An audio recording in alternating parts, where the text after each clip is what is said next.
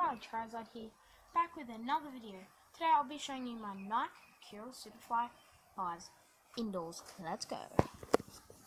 So here we have it. Well, it says Mercurial X right there. Inside, you can see that, I don't think you can. It says Mercurial X. Um, I mean, just Mercurial. This is a magenta color.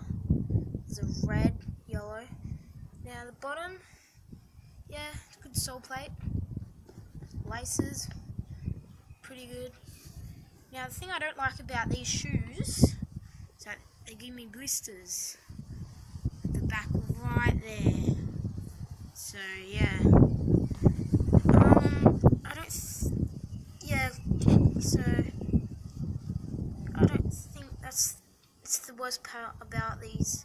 These were on sale for like fifty dollars, so pretty good quality as well.